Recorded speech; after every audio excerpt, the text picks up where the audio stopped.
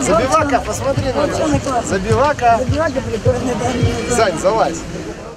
Едва стоило появиться главному символу фан-зоны алтайскому забиваке, как он тут же стал предметом внимания десятков болельщиков. Канадскому волчонку с барнаульской пропиской всего два месяца, однако он уже местная звезда. Итак, вся фан-зона замерла. Друзья, давайте все вместе. Раз, два,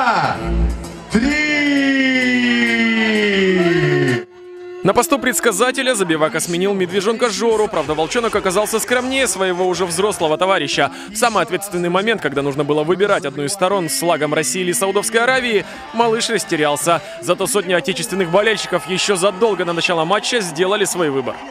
Честно говоря, я из тех людей, которые считают, что прогнозы – дело неблагодарное. Тем более в таком вопросе, как российский футбол. Но думаю, что, по крайней мере, на первом этапе у нашей команды вполне есть шансы.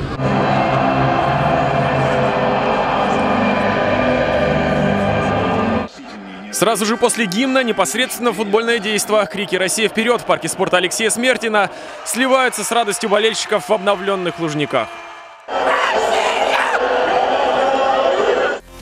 К разочарованию публики наш земляк Александр Ерохин, который вслед за Алексеем Смертиным смог пробиться в национальную сборную, в этот вечер на поле так и не вышел, оказался в числе запасных. Болельщики, конечно, расстроились, но высказали слова поддержки Александру.